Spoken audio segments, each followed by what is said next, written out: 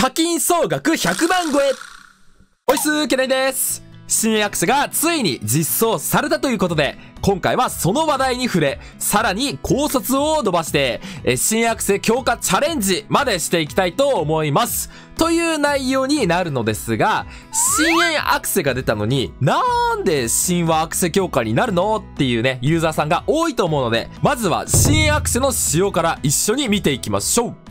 深淵のアクセサリーは現状主な入手手段で言うと、パールショップのアクセサリー商店、ギルド討伐のエリートから入手できるようになっています。パッチノートの方には、有物地、討伐でも入手かと書いてありましたが、まだその難易度に到達しておらず、報酬として実装されていないっていうことなんでしょうね。と、この新アクセ確かに能力値強いんですよ。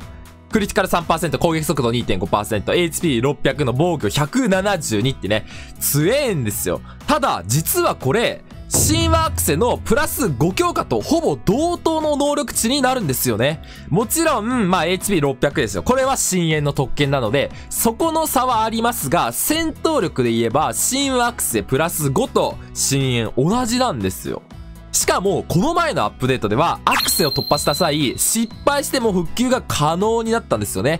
今までは失敗したら強化値がマイナス1下がっていたので、なかなか新アクセをガッツリ強化したぞなんてことは難しかったんですけども、これにより高い強化値っていうのを狙うことができるようになりました。そして先ほども言ったんですけども、新アクセの入手先は、アクセ商店とギルド討伐のエリートになるよと。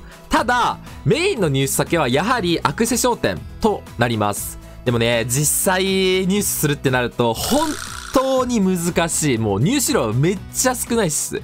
現状、神話アクセをがっつり突破するっていうのは本当に難しいものになるんですよ。そしてアクセの突破の仕様っていうので、高い強化値に行けば行くほど、めちゃめちゃ戦闘力っていうのが伸びていくんですよね。ちょっと実際見てみると、まあこれが無印。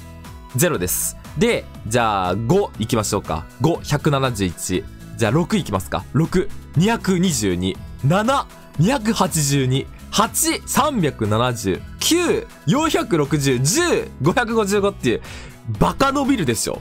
バカ伸びるんですよ。めちゃめちゃ伸びる。ということもあって、現状は神話アクセを無理して入手する必要なくない？というのが、有識者の間で囁かれてる意見となるわけなんですよね。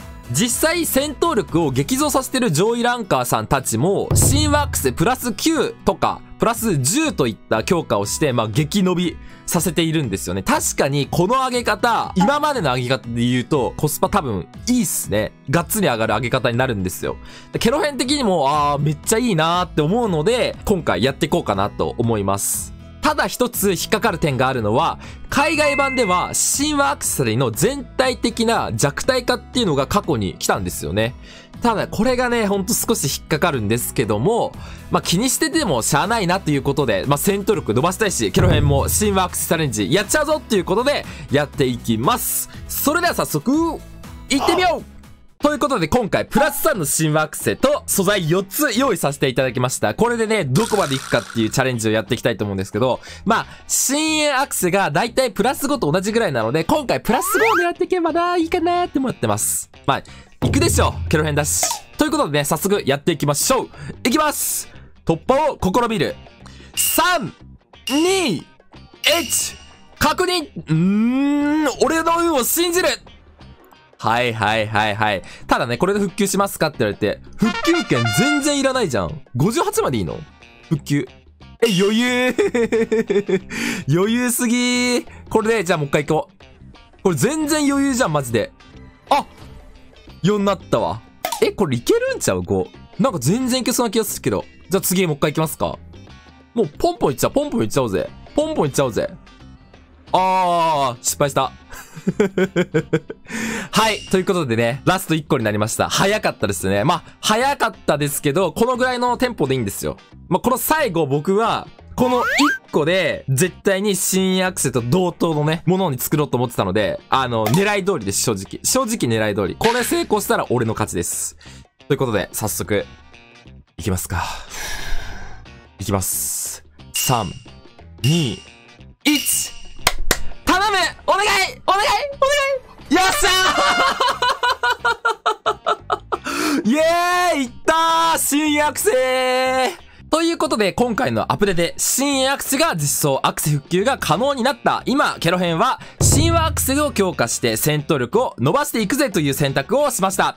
結構ね、復旧権もプラス5を狙うくらいだったら、まああんま使わなかったのね、優しかったです。いい感じでした。ということで、動画の内容は終了こっからは、毎日少し強くなるケロ編毎日道場イエーイことで、今回はこちら。アクセサリー更新1回やって、新はシーンドアクセサリーを出しちゃおうぜチャレンジとなります。皆さん準備の方よろしくお願いします。ということで、皆さんが準備してる間、小話をしていきたいと思うんですけど、これね、今、あの、美課金の間では結構やってる手法になるみたいです。この新ワークスをくるっとね、あの、商品陳列っていうところを更新して、で、新ワークスを出して戦闘力を上げるっていうやり方やってる人多いみたいです。まあ、体感では、僕のフレンドさんでは実際、新ワークス、えー、ブラパン2000個ぐらいで1個手に入んじゃねみたいなこと言われてたので、まあ、どんなもんなのかなっていうのは僕もちょっと知らないんですけど、まあ、確率アップイベント中でもあるので、1回ぐらいはちょっと更新したろうかなということで、皆さんと一緒にやりたいなということで、やらせていただきたいと思います。皆さん、準備の方よろしいでしょうか？ということでね、ブラックパール今回、まあ、人によっては120とか、人によっては2とかね、のパターンあると思うんですけど、更新していきましょう。ということで、やっていきます。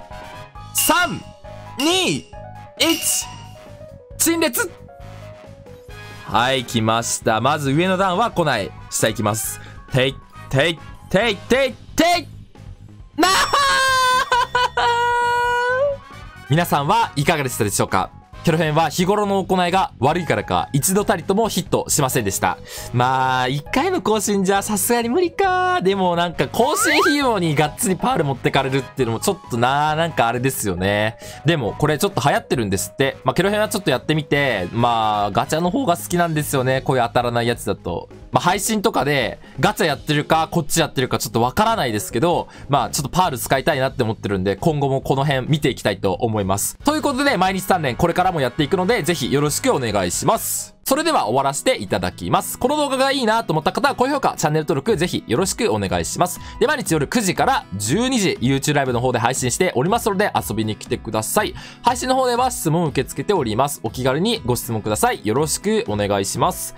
動画投稿の時間は夜20時を目安に投稿しております。ぜひチェックの方よろしくお願いします。で、すいません。毎日と言いましたが、火曜日、火曜日はお休みをいただいております。メンテナンスと被った場合は水曜日をお休みとさせていただいておりますので、えー、よろしくお願いします。それではご視聴ありがとうございました。お疲れ様です。